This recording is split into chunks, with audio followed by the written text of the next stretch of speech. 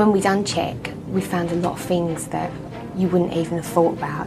How many times we rewrote out to customers, how many times um, you know, the amount of duplication that was in the work, how many time, how many different people it went around, one single piece of work went around before it actually got dealt with.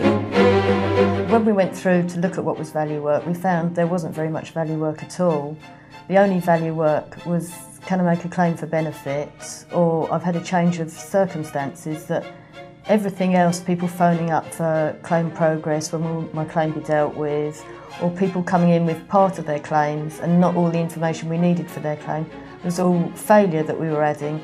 So the actual value work that we were doing wasn't very much. It was there was so much waste in the system that this was bogging down the value work that we should have been doing really. When we listened to the phone calls, a huge percentage of the customers were not only progress chasing, but they couldn't understand our letters. And when they came to us, we couldn't understand them either. During check, we, as we, we sat, I sat, um, other managers sat at the front line seeing customers, um, talking to talking to the staff, and you see the anxiety on both their faces. You, the customer knows that the message is going to be taken, a promise will be made about something being sorted out, and you can see that they know they'll be back again in a couple of weeks. The officer sitting opposite a customer who says, I've been back three times already, they carry on smiling, they're really doing their best, but you can just see the anxiety thinking, I'm going to pass this off again to the back office. I wonder what's going to happen to it. And you just see, you just see this again and again and again. And now I, um, I go to the local service centres where we're delivering um, a benefit service end to end and paying people's claims within a few days, as we talked about earlier. And staff are smiling. It's, there's been a complete transformation, and it's, um, it's remarkable.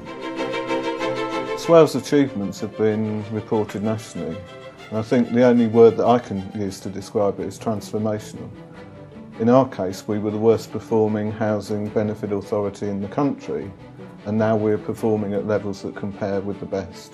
And the most important thing from my point of view was that we were able to turn things round within a matter of five months.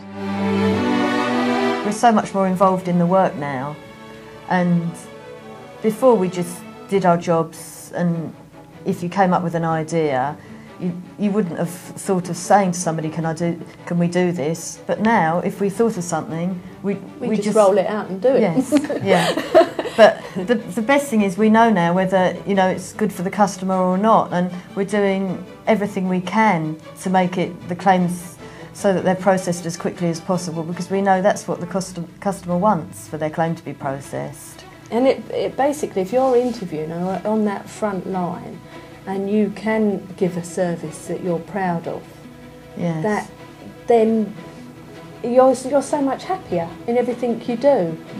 And it, it's nice because you feel like you're doing a worthwhile job, and we also feel that we're offering a, now a straightforward service that we can be proud of. I think a lot of us feel like this. You can't go well. You can't go back. Actually, it's um, it's it, it, requires discipline and hard work. To, I mean, it's um, there, there's no point in pretending that this is an easy option at all. It's not. It's very very difficult and it's very hard work.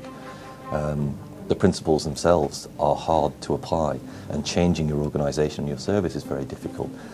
But unlike so many other methodologies that I've used before, and um, I've been through quite a lot. I've had the DWP help team here, I've had the BFI, I've had the traditional, you know, the big accountancy management consultancy firms, I've had some of the smaller benefit specialists here, and they've all done a similar thing. They all, they all come in, spend some time with you.